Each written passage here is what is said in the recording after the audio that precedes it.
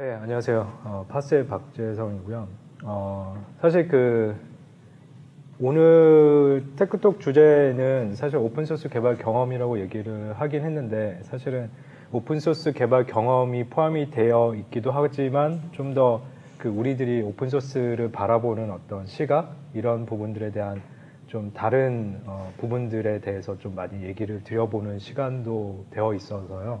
그래서 좀 그 여기 참석하신 분들이 좀더 어, 지금까지는 좀 다르, 다르게 어, 오픈소스 개발이 어떤 어려운 점들 또 어떠한 부분들이 우리가 어, 미처 알지 못했던 부분들이 있는지를 좀 알, 새롭게 알게 되는 시간이 되었으면 하는 바람에서 준비를 해봤습니다. 네. 어, 사실 그 오픈소스 뭐 당연히 여기 참석하신 분들은 뭐 다 오픈소스에 관심이 많이 계신 분들이라고 생각이 드는데 뭐 일반적으로 오픈 소스라고 하면은 사실 왜 관심을 갖고 있을까요? 뭐 굳이 이런 질문을 드리는 게 좀 이상할 수도 있지만 뭐 대체적으로 이제 오픈 소스를 하면 무언가 이제 되게 nice한 것들을 어, 이 이루어지지 않을까? 그래서 이제 뭐 내 실력을 좀 더 과시하는 측면에서 오픈 소스를 만드는 경우도 있을 수 있고요. 또 네이버 내에서라면은 자신의 어떤 프로젝트를 이제 오픈소스로 공개를 하게 되면 어떤 성과로서 인정받을 수 있지 않을까라는 생각 때문에 이제 관심을 갖는 경우가 있고 뭐 일반적이라고 하면은 이제 좋은 이직이나 또는 취업의 기회로 삼을 수도 있겠죠. 뭐 물론 여기 계신 분들도 마찬가지로 어, 이직의 기회를 좋은 이직의 기회를 얻을 수 있는 어떤 모멘텀이 될 수도 있고요. 뭐 그냥 또는 단순하게 멋져 보이니까 오픈 소스를 하는 것이 그리고 요새 뭐 다들 오픈 소스 오픈 소스 하니까 또 다들 한두 개씩 contribution 또 한, 하는 분들도 계시고, 그렇죠? 뭐 다양한 이유에 의해서 이제 오픈 소스라는 거에 대해서 관심을 가지고 계실 거라고 생각드는데 사실 오픈 소스에 대한 어떤 좀 잘못된 뭐랄까 이해 또는 뭐 그 myth라고 얘기를 어, 짓긴 했는데 이제 기본적으로 생각해 볼 수 있는 게 오픈 소스가 뭐 성공이라고 제가 표현을 하긴 했지만 오픈 소스의 성공은 보상과 일치하지 않을까라는 생각을 아마 많이 하실 수 있을 것 같고요. 그리고 오픈 소스는 어, 코드에 대한 것이다. 그리고 오픈소스는 무료로 제공되는 것이다. 라는 어, 일반적으로 이런 생각들을 많이 갖고 계신 것 같습니다. 그 먼저 이제 오픈소스에 대해서 좀 더 깊게 들어가기 전에 간단하게 뭐 아시는 분도 계시겠지만 오픈소스의 시작에 대해서 그냥 간략하게 한번 살펴보고 지나가 볼게요. 사실 오픈소스가 등장하게 된 뭐 여러 가지 어떤 그 역사적으로 어 몸에 그 시점들이 있었지만 대체적으로 그 리처드 스톨먼의 그 GNU 프로젝트를 시, 기점으로 시작되었다고 보는 것이 맞을 것 같고요. 어, 리처드 스톨먼이 이후에 이제 Free Software Foundation이라는 재단을 설립을 해서 실질적으로 이제 오늘날 우리가 알고 있는 어떤 무료 또는 오픈 소스에 대한 개념이 좀 정립되는 시기였다고 저는 생각이 들고요. 근데 여기서 이제 좀 주의하셔야 될 부분은 이제 free라는 단어가 어, 그 GNU 프로젝트 사이트에 가시면 이제 저 그 설명이 있긴 한데 free라는 의미는 이제 free speech를 의미를 하는 거지 free beer를 의미를 하는 게 아니다라는 부분들을 어, 아, 어, 에 대해서 이제 정의를 내리고 있습니다. 실질적으로 그리고 오픈 소스라는 이제 정의 자체는 그 넷스케이프라는 이제 과거 예전에 브라우저가 있었는데 넷스케이프 브라우저의 코드를 이제 공개하기 위한 전략 회의에서 이제 처음이 사용되었고요. 왜냐하면 이제 그 이전 장에서 설명드렸던 것처럼 free라는 단어 자체는 어, 비용을 연관시키는 문제를 이제 사람들에게 인지식 잘못 인식을 시켜줄 수 있다는 점 때문에 좀 더 이제 다른 형식의 이제 정의가 필요했기 때문이고요. 어, 그래서 이 오픈 소스라는 이제 정의는 이제 Foresight Institute의 이제 크리스틴 피터슨이 이제 1998년에 제안을 했고, 그래서 오늘 여러분들이 알고 계시는 이 오픈 소스라는 그 term이 어, 이제 널리 사용이 되는 시점이 되었다고 볼 수가 있을 것 같습니다.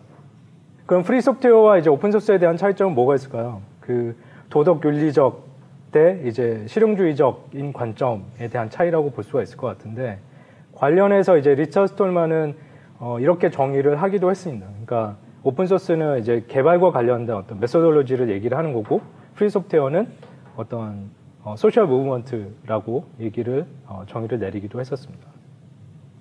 오픈 소스가 이제 시작되는 경우는 이제 다양한 어떤 그 상황들이 있는데 어, 일단 가장 쉽게 우리가 사례를 찾아볼 수 있는 게 기업 내부로부터 오픈 소스들이 시작이 되죠. 그 여러분들이 뭐 그 한 번쯤은 들어보셨어요? 어, React나 AngularJS 같은 것들이 이제 페이스북이나 이제 구글 로부터 시작이 됐고 실질적으로 이제 그 기업들이 오픈 소스를 시작하게 되는 경우는 기업의 성과를 이제 공개를 해서 해당 프로젝트를 통해서 이제 그 개발 커뮤니티의 영향 확대를 이제 기대하기 때문이죠. 어, 네이버에서 당연히 그 공개하고 있는 GitHub에 이제 네이버 repository에 들어가시면 이제 다양한 뭐 네이버 오픈 소스로 공개된 프로젝트들이 있는데 어, 그런 프로젝트들이 바로 이와 같은 경우에 속한다고 볼 수가 있고요. 그리고 두 번째로는 이제 새로운 비즈니스 기회로부터 시작되는 경우가 있는데 이 경우에는 이제 뭐 그 몇몇 이제 프로젝트를 보시면 Docker 같은 경우라든지 MongoDB 이런 것들이 다 그 어떤 비즈니스 기회를 어, 통해 시작하기 위해서 이제 시작되었다고 볼 수가 있습니다. 그래서 기업 기본 프로젝트는 오픈 소스로 공개하고 기업 전용 뭐 플랜이라든지 서비스 등을 통해서 이제 비즈니스 형태로 이제 전개되는 어, 형태들의 프로젝트로 시작이 되는 경우가 있고요. 그리고 세 번째는 뭐 그냥 되게 우리 주위에서 그냥 일반적으로 볼 수 있는 사례라고 볼 수가 있는데 어, 보통 이제 개인 또는 이제 그룹 커뮤니티로부터 이제 시작되는 경우가 있는데 이 경우에는 뭐 개인적 호기심에 의해서 시작을 하거나 또는 다른 오픈소스 프로젝트를 뭐 우연하게 참가한다든지 하는 식으로 이제 시작이 되겠고 또 이제 자신의 또는 자신의 니즈를 해결하기 위한 방편으로 오픈소스에 참가를 시작하고 하기도 합니다. 그 다음 마지막 유형으로 이제 fork를 통해서 시작되는 경우가 있는데 어, 이 경우에는 이제 프로젝트가 중단되거나 또는 뭐 기타 여러 가지 이유 때문에 fork를 해서 이제 새롭게 내가 새로운 오픈소스 프로젝트를 진행하겠어라고 해서 시작되는 경우가 대부분이고요.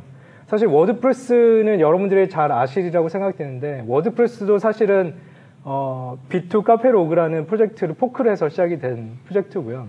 그 아래 보시면 사실 링크된 발표 자료는 이후에 이제 공유가 될, 될 건데 아래 보시면 이제 WordPress의 역사를 이제 잠깐 보시면 좀 재미있는 부분들이 많이 있거든요. 근데 어, 프랑스 이제 개발자 최초의 이제 그 b2 cafelog라는 이제 프로젝트를 시작을 했었고 이후에 그 maintenance가 잘 되지 않으면서 이제 그것 때문에 이제 WordPress가 이제 fork돼서 오늘날에 이르게 되어 사례를 이제 어, 읽어보시면 좀 재미가 있기는 있, 하고요. 네. 그 외에 이제 그 PostgreSQL도 Postgres라는 프로젝트를 통해 fork해서 시작됐고 그리고 브라우저 같은 경우도 이제 Netscape를 fork해서 이제 Firefox 그리고 오늘날 뭐 크롬 같은 경우도 마찬가지로 WebKit을 이제 해서 시작이 됐지만 실제로 WebKit도 KHTML이라는 프로젝트 해서 진행을 했기 때문에 실제로 이렇게 fork를 통해서 오픈소스가 시작되는 경우도 되게 좀 자연스럽다라고 볼 수가 있을 것 같습니다.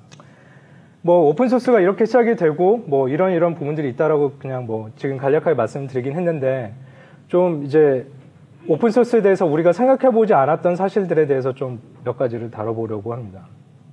사실 사용자로서 여러분들이 사실 개발자가 아마 대다수이실 거라고 생각드는데 개발 오늘날 개발에 있어서 오픈 소스를 사용하지 않고 무언가를 진행하기는 이제는 거의 불가능에 가까운 시점이 됐다고 생각이 드는데요.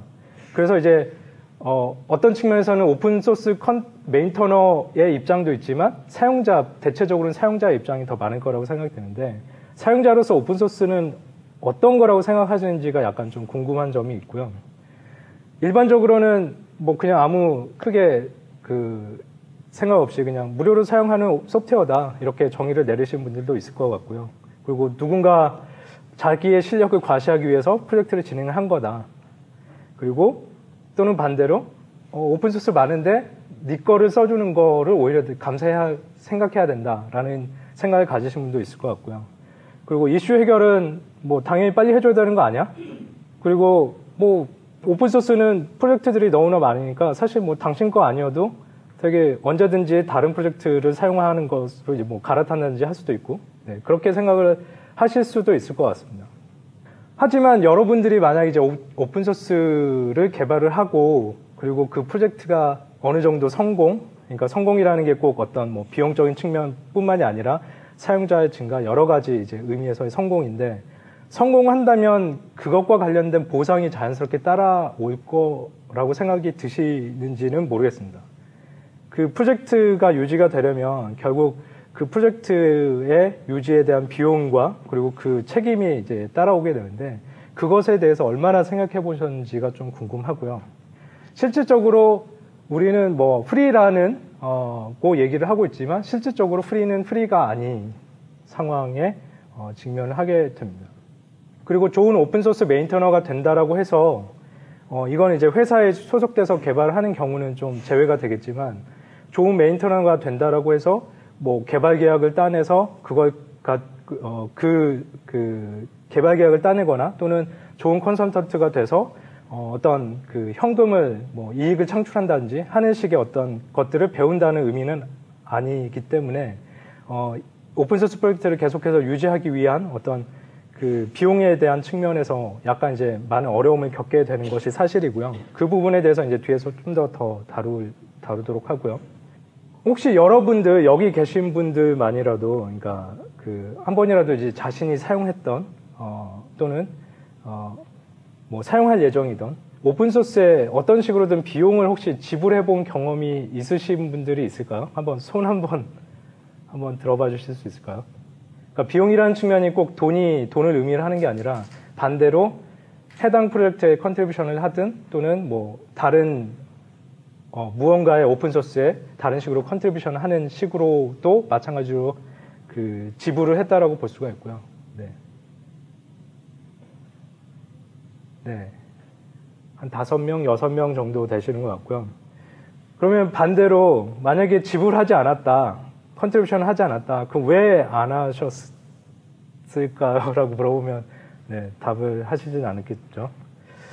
만약 여러분이 오픈소스 개발자가 된다고 하면 이와 같은 상황을 맞닥뜨리게 되게 됩니다. 네. 그래서 실제로 이제 몇 가지 사례들을 통해서 어, 좀 더 살펴보도록 할게요. 네, billboard.js를 살펴보도록 하겠습니다. 뭐, 잘 아시겠지만, billboard.js 이제 제가 maintenance를 하고 있는 이제 오픈소스 차트 라이브러리 프로젝트고요.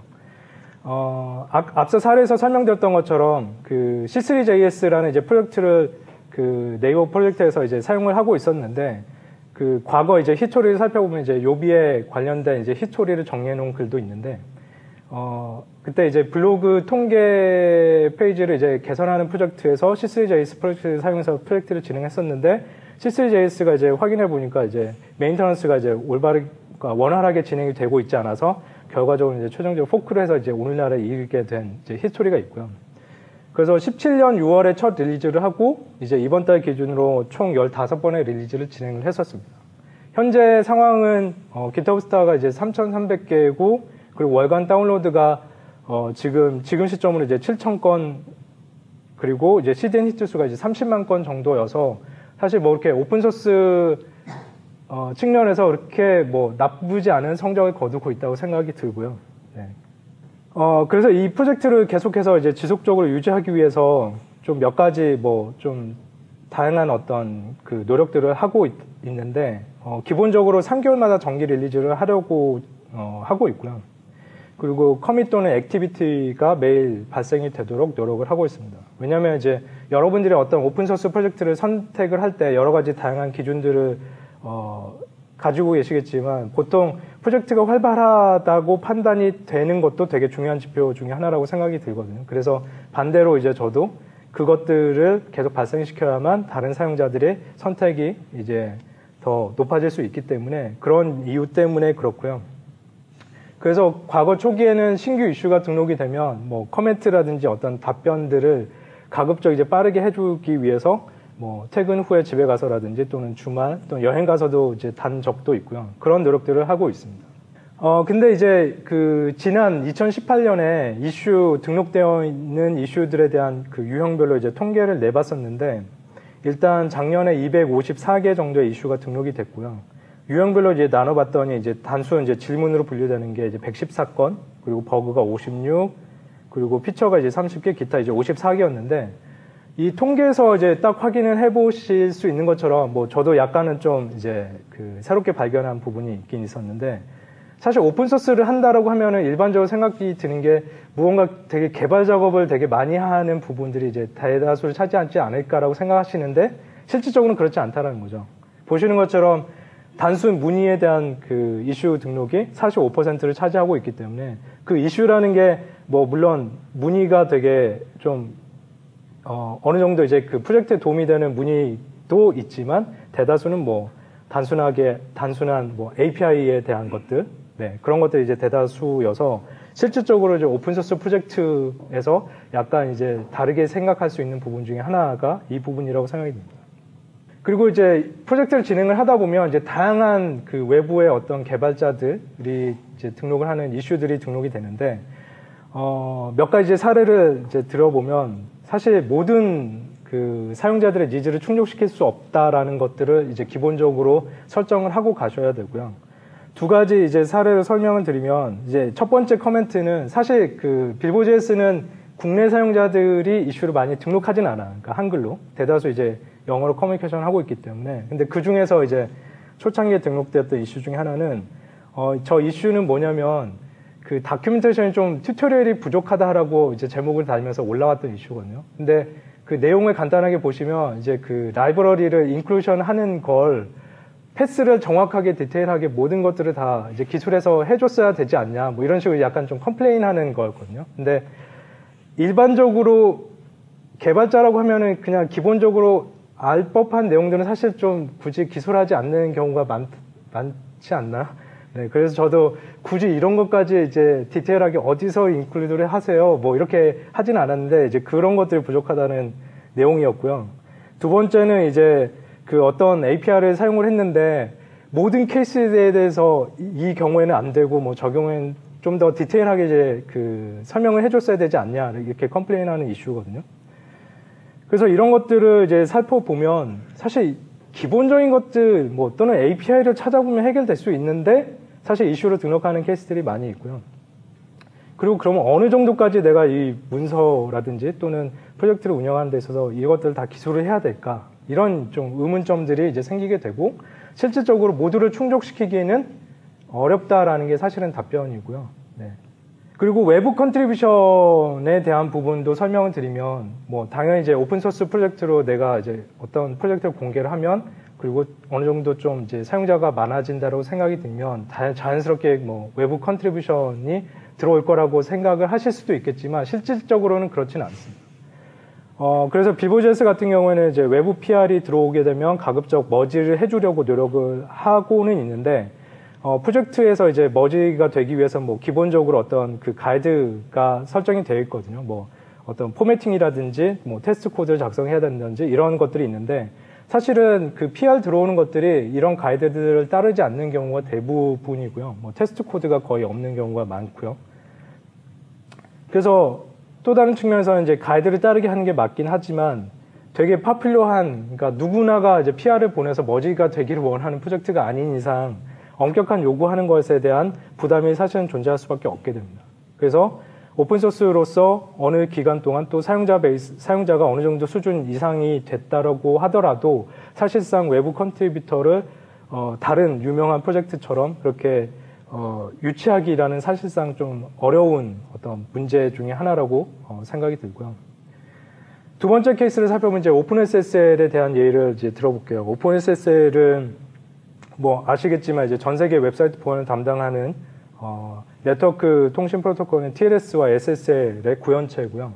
사실 오픈소스에 관련된 얘기를 찾아보시면 항상 빠지지 않고 등장하는 케이스이긴 한데 그 아직까지도 이제 회자되고 있는 그 보안 취약점 중에 하나죠. 2014년에 OpenSSL에서 발견된 Heartbleed라는 이제 보안 취약점이 발견됐는데 이, 이 간단하게 이제 어떤 보안 취약점이었냐면 이제 사용자가 서버 간 연결 유지를 위해서 이제 heartbeat, 그러니까 심, 심박동수와 같은 어, 통신 신호 방식을 이용해서 클라이언트에서 이제 무작위 이제 데이터 패킷과 크기를 서버에 전송하면 서버는 이제 같은 양의 데이터를 반환하는 식으로 이제 연결을 확인하게 되는데 어, 만약에 클라이언트 쪽에서 거짓 데이터의 양을 전송하더라도 어, 서버에서는 이제 그 데이터만큼 이제 그 다시 반환하기 위해서 메모리에 서버 메모리에 저장되어 있던 데이터를 무작위로 이렇게 그 보내는 그런 어, 그 보안 취약점이 있고요. 그러니까 이게 왜 보안 취약점이냐면 서버에 예를 들어서 메모리에 민감한 어떤 데이터가 전소, 어, 저장이 되어 있는 경우라면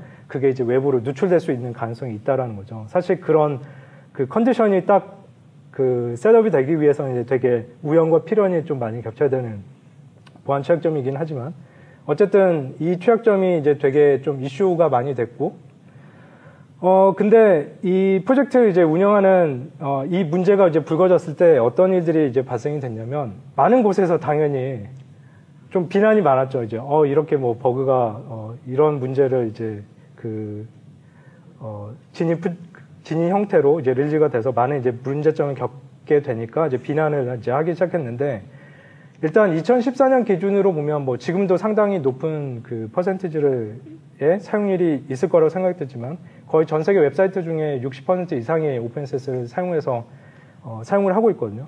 그래서 이런 비난이 생기 생기니까 이제 그 개발자가 이런 얘기를 하긴 했어요. 그러니까 고객님들 죄송합니다. 저희들이 망쳐놔서. 근데 돈이라도 돌려드릴까요? 근데 그러고 보니 저희가 돈을 받은 적이 없네요. 네, 이렇게 얘기를 하게 됩니다. 오히려 이제 그 어, 오픈소스를 잘 사용하고 있을 때는 문제없이 뭐 아무런 뭐 대가를 지불하지 않지만 문제가 생기면 이렇게 비난을 하게 된다는 거죠.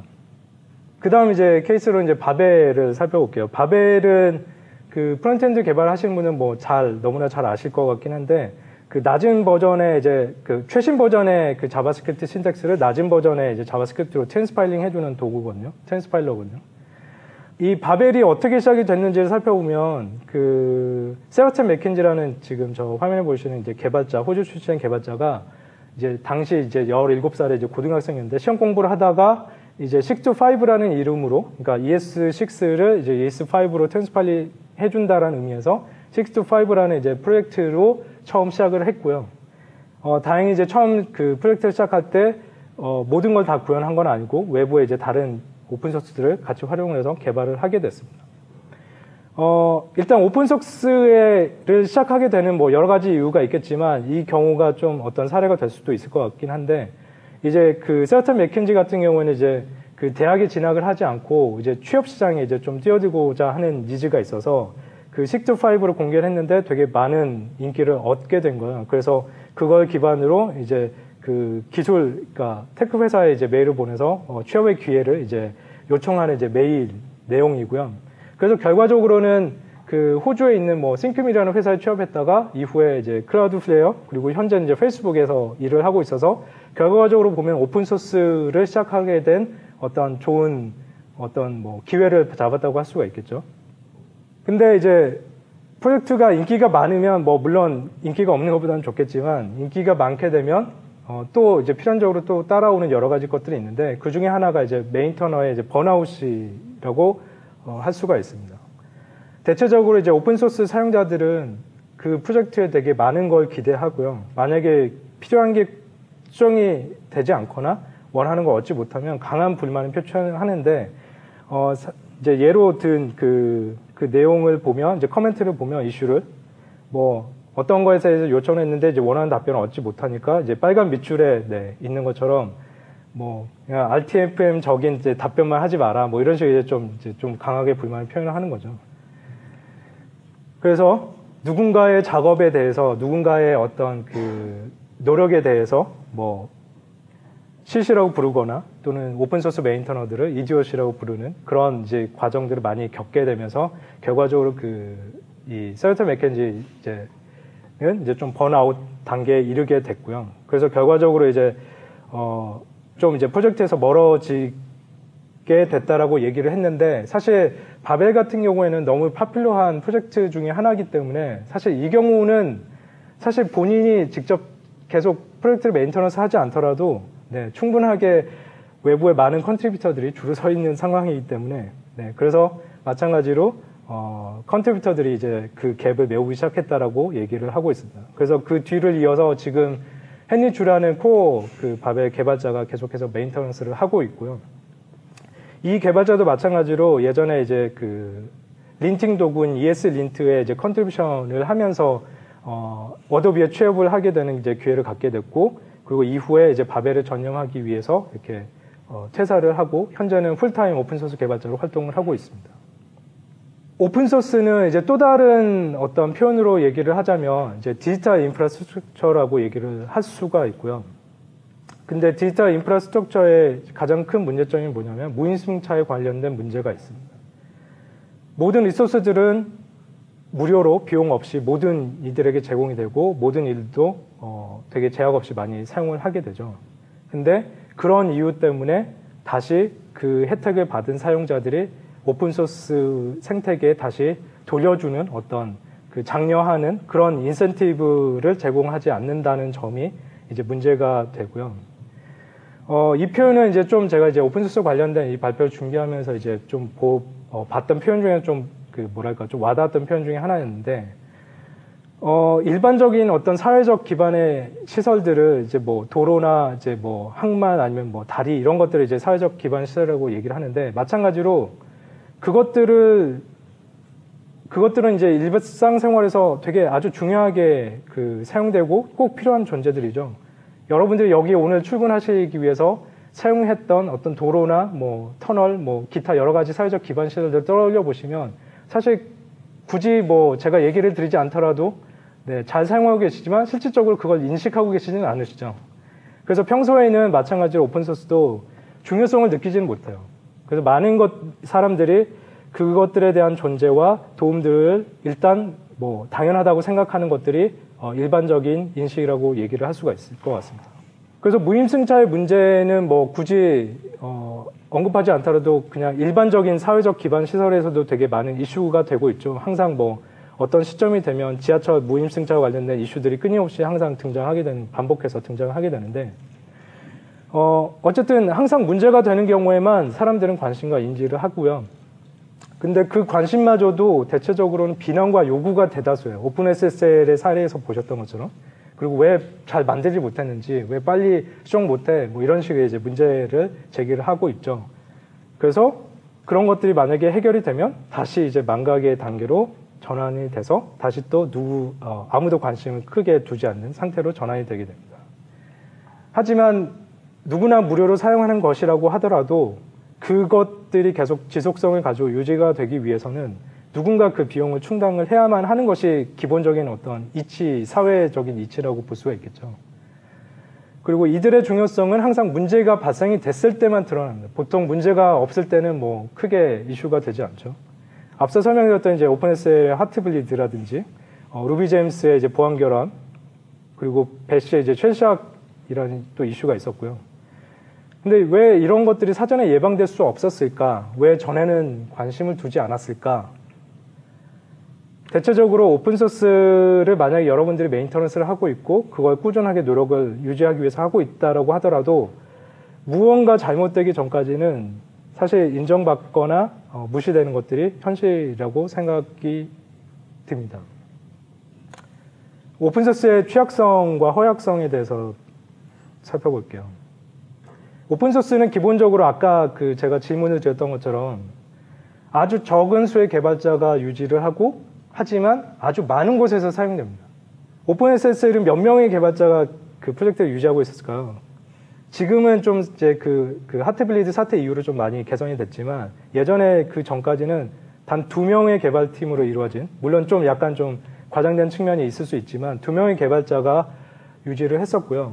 그것도 사실 그, 그 스티브 헨슨이랑 이제 스티브 마퀴스라는 분이 이제 그 개발 어, 팀을 운영을 했는데 스티브 마퀴스는 이제 사실상 코드를 작성하시던 분이 아니에요. 뭐 이제 coordination을 하던 분이어서 실질적으로는 한 명이 거의 이제 메인 주도적으로 프로젝트를 유지를 했, 었고요 Bash 같은 경우도 뭐 Bash 굳이 제가 뭐 Bash가 뭐다라고 설명하지 않더라도 잘 아시죠 뭔지.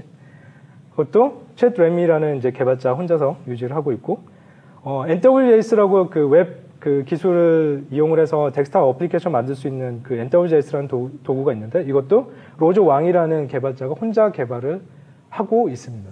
이것도 실질적으로 그 GitHub repository를 살펴보시면 NWJS가 뭐 인지도가 없는 프로젝트가 아니라 GitHub 스타 수가 3만 5천 개거든요. 그러면 뭐그 GitHub에서도 되게 상위급에 있는 프로젝트라고 할 수가 있는데 commit log를 보시면 그냥 혼자 계속 하고 있어요. 네. 그렇죠? 그 2015년에 있었던 뭐 한 조사에 따르면 일단 그 여러 개 이제 GitHub 프로젝트를 확인했을 때 거의 60% 이상의 프로젝트들이 한 명에서 또는 두 명의 개발자가 주도적으로 운영을 하고 있다라는 조사 결과도 있었습니다.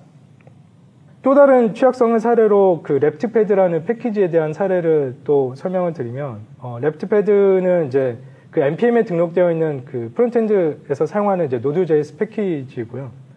어, 사실 그 코드에서 보시면 사실 뭐 유추를 하실 수 있을 텐데 그냥 어, left padding에 뭐 어떤 문자열로 이제 대치를 하거나 padding을 처리할 수 있는 되게 단순한 유틸리티였고요.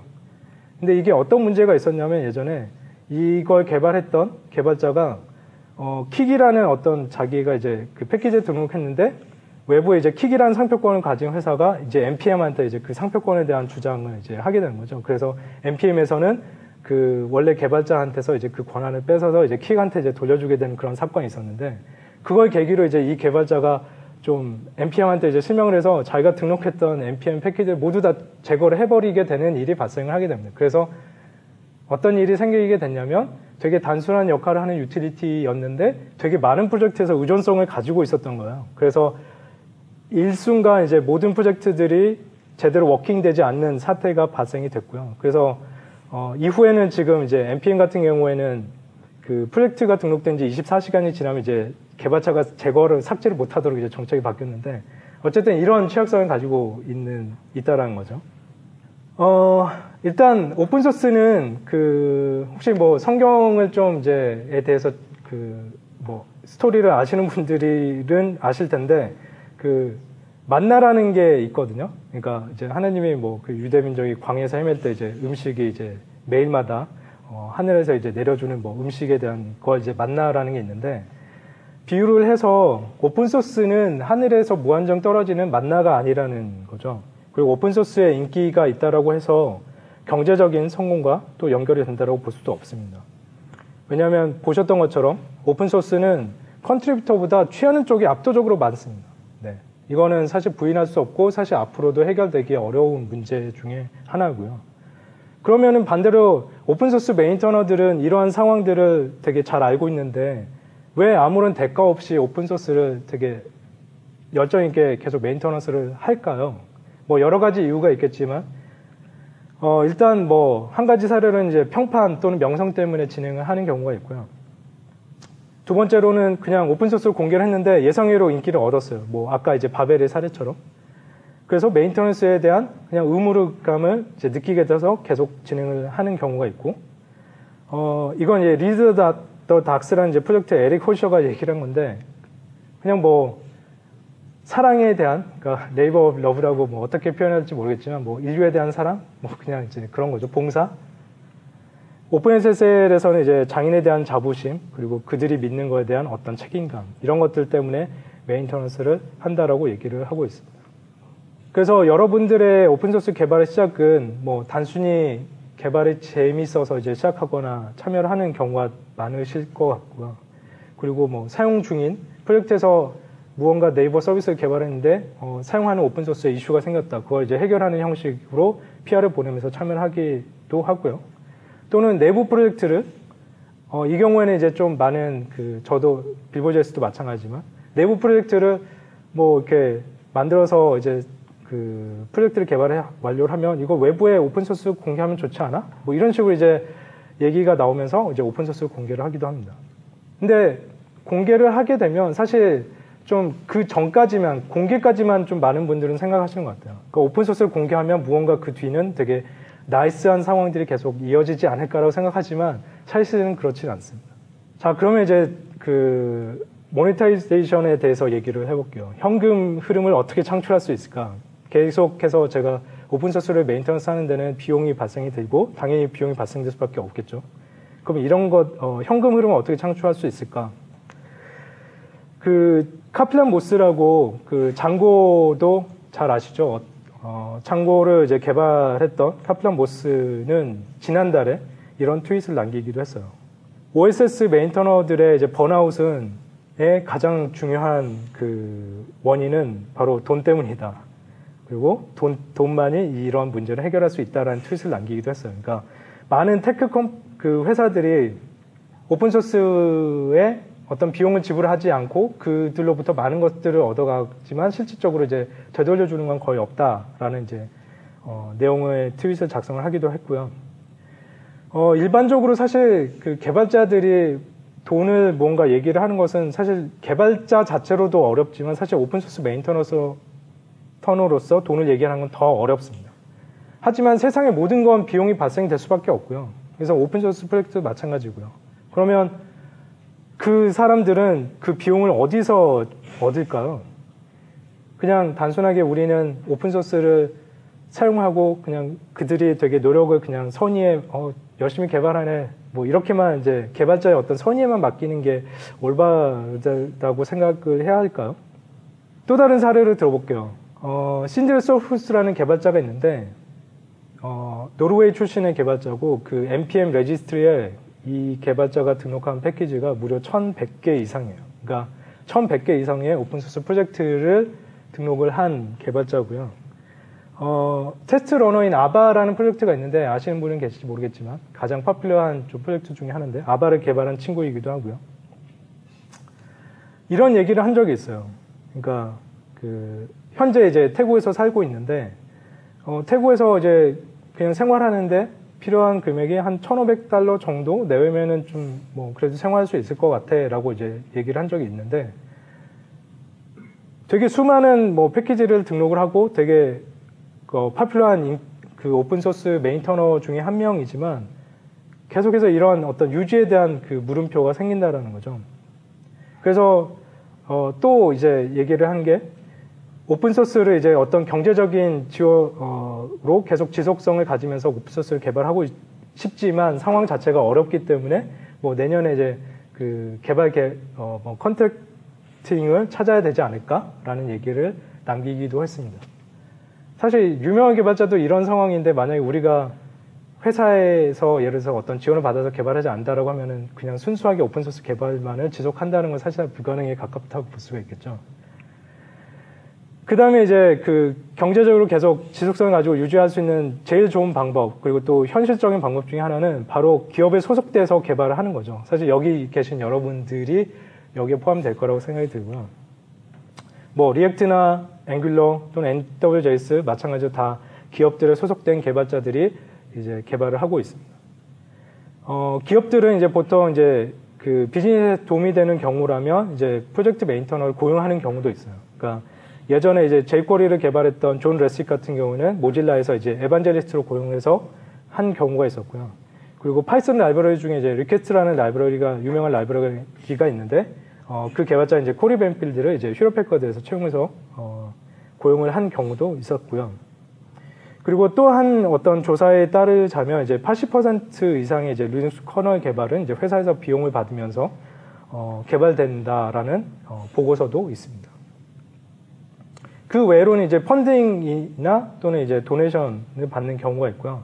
뭐 여러분들이 잘 알고 계신 이제 크라우드 펀딩 서비스 이제 Kickstarter 같은 경우도 단순하게 어떤 그 제품들에 대한 크라우드 펀딩만이 아니라 Django 같은 경우에는 이제 Kickstarter를 통해서 이제 펀딩을 받은 사례가 있고요. 어, 유명한 이제 그 서비스들 중에서는 이제 어, Patreon이랑 이제 Open Collective라는 서비스가 있는데 어, 이런 서비스를 통해서 이제 그 별도 이제 그 개발자들이 어떤 어, 펀딩 또는 donation을 받도록 하는 서비스들을 제공을 하고 있습니다. 실제로 그러면 펀딩을 통해서 어느 정도 금액을 모았을까 또 한번 살펴볼게요. Django 같은 경우에는 어, 2016년, 17년, 뭐 18년 살펴보시면 대략 뭐 13만 불, 12만 불, 6만 7천 달러 정도를 펀딩을 받았습니다. 뭐 적은 금액은 아니지만 사실 그 Django라는 어떤 name value를 생각해 봤을 때는 뭐 또 그렇게 많다라는 그 생각이 들지는 않고요. OpenSSL 같은 경우에는 Heartbleed 사태 이후에 그 중국 스마트폰 제조사인 이제 Smartisan으로부터 16만 달러를 donation을 받기도 했고요. 그 다음에 Vue.js도 아시죠? Vue.js도 되게 popular한 이제 프로젝트인데 Vue.js 같은 경우에 그 개발자인 Evan You 같은 경우에는 지금 스크린샷에서 보시는 것처럼 239명의 후원자로부터 매달 17,000달러를 기부를 받고 있습니다. 이 경우는 사실 아 이제 오픈소스 할만하네라는 얘기가 나올 수 있겠죠. 네. 근데 여러분의 프로젝트가 Vue급은 Vue.js급은 돼야 네, 이 정도 가능한 거고요. Henry Zhu 같은 경우에는 그 현재 이제 1,600달러 정도를 donation 받는 걸로 나와 있고요. 근데 이제 바벨 프로젝트로 또 따로 떼어놓고 보면 이제 바벨 프로젝트는 현재 이제 그 전체 이제 그 Open Collective를 사용하게 되면 사이트를 들어가 보시면 이제 기부받은 금액이랑 그, 그 프로젝트의 멤버들이 어, 어, 느 곳에 어떤 비용을 사용했는지가 되게 그, 그 투명하게 공개되거든요. 그래서 현재 시점에 이제 12만 달러 정도가 남아있는 것으로 나, 나오고요. 그 AVA를 개발했던 Sindre Sorhus는 뭐 1,500달러 정도면 괜찮다고 했는데 현재 2,500달러를 후원을 받고 있으니까 뭐 지금 괜찮은 수준이라고 볼 수가 있겠죠. 그 다음에 webpack 같은 경우에는 어, 작년인가 이제 재작년에 40만 달러를 연간 어, 기부받은 것으로 어, 나와 있습니다. 그 외에 뭐 이제 오픈 소스를 통해서 이제 비즈니스를 그 하는 형태로 이제 어, 현금을 창출하는 경우가 있고요. 뭐 npm은 npm Enterprise, WordPress는 뭐 호스팅이라든지 이커머스 또는 PaaS의 형태나 클라우드 플랫폼의 형태로 이제 비즈니스를 통해서 이제 그 이익을 창출하는 경우들이 있습니다. 그 외에 이제 라이센스를 적용하는 방법도 있는데 사실 그 일반적인 오픈 소스 개발자라면 사실 보다 그 코드에 포커스를 많이 하기 때문에 라이센스와 관련된 것들을 많이 신경 쓰기는 사실 좀 어렵죠. 그래서 그런 개발자들 또는 오픈소스를 위해서 License Zero라는 라이센스가 있거든요. 이거는 어떤 거냐면 dual 라이센스를 적용을 해서 상업 사용자에게는 이제 사용 시작 32일 뒤에 상업적 라이센스를 요구하도록 하는 라이센스를 어, 라이센스입니다. 그래서 뭐 간단하게는 이런 식의 라이센스를 적용을 해서 상업적인 어떤 그 비용을 충당할 수도 있겠죠. 그 외로는 이제 어, 재단을 통해서 이제 기부를 받는 경우가 있는데 어, Core Infrastructure structure Initiative라는 이제 재단이 생겼는데 이거는 이제 Heartbleed 사태 이후로 많은 기업들에서 이제 그 어떤 디지털 infrastructure를 에 포함이 된다라고 생각되는 프로젝트들이 이런 어떤 이런 보안 취약점이라든지 어떤 이슈들이 생기면 되게 인터넷 생태계 여러 가지 문제점들이 발생이 될 수 있다는 점을 깨닫고 이제 모여서 펀드 펀드를 구성을 한 거고요. 그래서 이제 어, 되게 중요하다고 판단되는 프로젝트들을 지원을 하고 있고 모질라 같은 경우에는 오픈소스 어워드라는 걸 이제 만들어서 어, 100만 달러 규모의 상금으로 어, 계속 프로젝트를 후원을 하고 있습니다. 네, 거의 마지막이긴 한데, 네. 오픈소스를 뭐, 물론 뭐, 여러 가지 다양한 어려움들에 대해서도 얘기를 하고 사례들을 들어서 설명을 드리기도 했지만 사실 오픈소스를 하는 가장 커다란 가치 중의 하나는 다른 이의 코드를 통해서 내가 성장할 수 있다는 점이 가장 크다고 생각이 들고요. 그리고 다른 세계의 어떤 개발자들과의 커뮤니케이션을 통해서 협업을 경험할 수 있다는 점도 커다란 강점이라고 생각됩니다. 그러니까 네이버 내에서 어떤 뭐 프로젝트를 개발을 해서 다른 동료들로부터 성장을 하는 부분도 있지만 실질적으로 그 해외에 있는 어떤 개발자들과의 커뮤니케이션이 사실상 좀 많은 경험을 하기가 어렵잖아요. 하지만 오픈소스를 한다고 하면 이런 경험들을 할 수 있는 기회들이 많이 어, 열리게 되고요. 그리고 뭐 굳이 어렵다, 뭐 좋다, 뭐 나쁘다 이런 수식어들을 다 떠나서 오픈소스는 지금 대세를 거스를 수 없는 어떤 mainstream이라고 생각이 들고요. 지금 뭐 오픈소스는 기존의 어떤 테크 기업뿐만이 아니더라도 그냥 일반적인 어떤 이상한 뭐 그냥 되게 오프라인적인 기업들에서 많이 오픈소스를 개발을 하고 있어요. 뭐 NASA나 Disney, General Electric 같은 곳에서도 GitHub에 보시면 repository의 오픈소스 프로젝트를 진행을 하고 있습니다. 기업은 반대로 오픈소스로부터 무엇을 얻을 수 있을까요? 뭐 여러 가지가 있겠지만 기업 문화 개선, 뭐 recruiting 효과도 있고 비즈니스 기회도 있고 또는 뭐 작년에 되게 이제 많은 이슈가 되었던 상생 뭐 이런 부분도 해결을 할 수가 있겠죠. 그래서 그 외부에서는 이제 외국에서는 어 여러 기업들이 이제 참여를 해서 TODO라는 이제 그룹을 만들어서 오픈 소스 프로젝트를 지원을 하고 있기도 합니다. 근데 어 여담이지만 약간 이제 좀 그 물론 네이버가 열심히 오픈 소스 프로젝트를 네, 열심히 하고 있는 있다고 보여지긴 하지만 네. 어, 일단 외부적으로는 어, 이런 활동에 약간은 조금 그 소홀한 부분도 있다고 생각이 들고요. 네, TODO 같은 경우는 뭐 단순 문의뿐인 문의만 있는 그룹일 수도 있지만 삼성 같은 경우는 이제 그 그룹의 멤버로 참여를 하고 있고요. 네, 근데 이런 부분에서 이제 어, 국내의 어떤 그 IT 기업들을 찾아보기는 사실상 좀 어려운 부분들이 현실이고요. 그래서 오늘 여기 참여하신 분들 또는 뭐 발표를 이제 보고 계신 분들한테 이제 좀 얘기를 드리고 싶은 건 consumer가 아닌 이제 contributor로서 계속 그 기여를 하실 수 있는 어떤 분들이 되셨으면 하는 게 이제 솔직히 이제 제 바람이고요. 왜냐하면 뭐 좀 너무 이상적인 얘기일 수도 있지만 contributor contribution을 통해서 더 나은 세상을 분명히 만들 수 있다 있는 부분들이 존재를 하고 그리고 다른 이들을 도울 수 있다는 점에서 오픈 소스는 커다란 가치가 존재한다고 생각합니다. 그래서 우리는 우리의 몫을 다하고 있는지를 한번 생각해 보셨으면 좋겠고요. 그리고 오픈소스의 지속성을 위해서 어느 정도는 책임감을 가지고 그리고 여러분들은 단순하게 그냥 뭐 tech 기업에서 일하는 사람이 아니라 실질적으로 오픈소스의 혜택을 지금도 받고 있고 앞으로도 계속 받으실 거잖아요. 네, 그렇기 때문에 책임감을 좀 더 많이 가져주셨으면 좋겠다는 생각을 하고요. 왜냐하면 일반적으로 공원은 누구나 사용하지만 유지가 되지 않으면 누구도 사용하지 않게 되잖아요. 오픈소스도 마찬가지라고 생각합니다. 유지가 되지 않으면 그런 수많은 오픈소스 프로젝트들이 유지가 될 수가 없기 때문에 네, 많은 관심과 어, 책임을 가졌으면 좋겠다라는 생각을 가지고 네, 오늘 발표를 마치도록 하겠습니다. 네, 감사합니다.